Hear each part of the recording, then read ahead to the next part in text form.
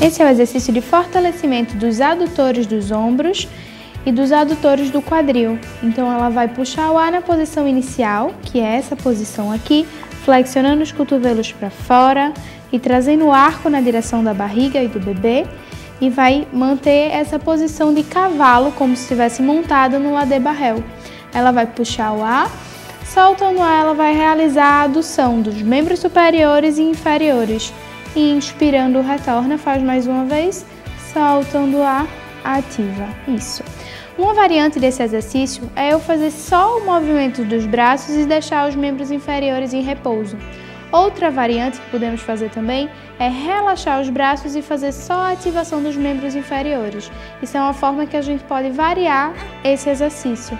Como benefício materno, temos todo esse fortalecimento do peitoral e dessa musculatura adutora dos ombros e fortalecimento de toda essa musculatura dos membros inferiores. Quando ela aperta, ela realiza a adução, realiza também a extensão dos, dos joelhos e realiza a flexão plantar do pé. Vamos fazer a última vez, Vi?